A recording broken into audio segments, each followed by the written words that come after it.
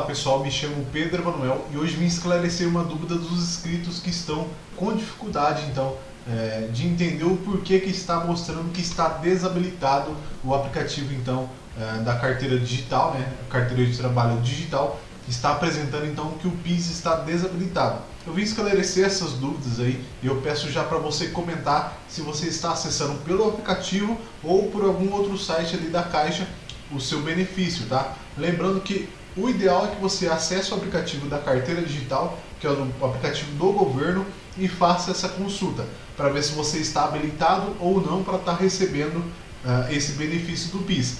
Porém, pessoal, temos notícias eh, na live, a última live que foi prestada pelo Ministério ali de Trabalho com a Caixa, né, que vai ser divulgado se está habilitado ou não, tá?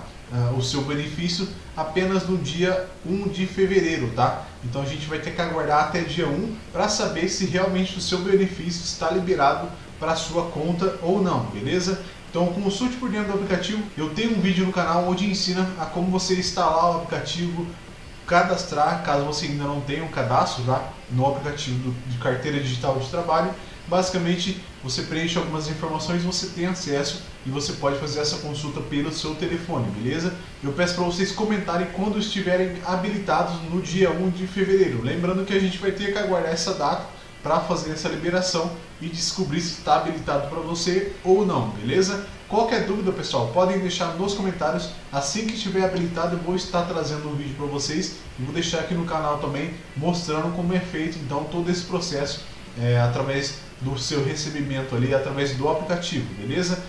E é isso, pessoal. Qualquer dúvida é só me chamar aí nos comentários que eu vou estar respondendo a todos.